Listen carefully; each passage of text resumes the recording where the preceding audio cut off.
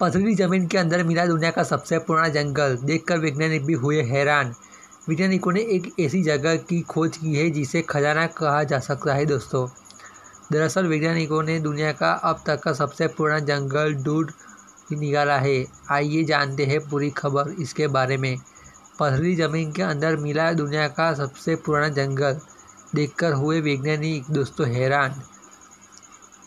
आइए दिन दुनिया में तरह तरह की खोजें होती रहती है दोस्तों। कितना कुछ अभी बाकी है जो इंसान को ढूंढना है। दुनिया में कितनी जगह ऐसी है जहाँ तक किसी भी नज़र नहीं गई है दोस्तों। ऐसी ही हैरान करने वाली चीज़ें, जगह है, आपको अक्सर दे, दिखाई दे जाती है दोस्तों। वैज्ञानिकों ने ऐसी ही जगह को खोज निकाला है दोस्तों, जिसे खजाना कहा जा सकता है। दरअसल, जिस जगह की वैज्ञानिकों ने खोज की है, वह डेवोलियन काल की बताई जा रही है। वैज्ञानिकों ने की इस खोज की कई सारी जानकारियाँ निकाली है और इसके सामने आई है दोस्तों।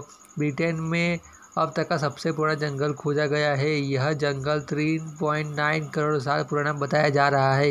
इसे दुनिया का अब तक का सबसे पुराना जंगल बताया जा रहा है। इसे डेवोलियन काल का जंगल बताया जा रहा है। इस जंगल में बहुत ही बड़ी मात्रा में बहुत पुराने जीवाश्म मिलने का आदेश भी संदेशा भी आ रहा है। दोस्तों, वैज्ञानिकों ने बताया है कि जंगल में तड़ के पेड़ की तरह दिखने वाले थे। न सिर्फ़ इस जंगल में उस काल के पेड़ों की जानकारी मिलेगी, बल्कि उस काल के जानवरों के बारे में भी अब जानकारी खोजी जा सकती है। क्रैम्बियन यूनिवर्सिटी और कार्डियन यूनिवर्सिटी के वैज्ञानिकों ने भी खोज की है। दोस्तों, डेमोन और समरसेट के क्षेत्र में इस खोजों को कैम्ब्रिज यूनिवर्सिटी और कार्डियन यूनिवर्सिटी के वैज्ञानिकों ने मिलकर पूरा किया बताया जा रहा है कि वैज्ञानिकों ने कहा खोज शुरू की थी तब से उन्हें लगा था कि कुछ बड़ा मिल न पाएगा दोस्तों।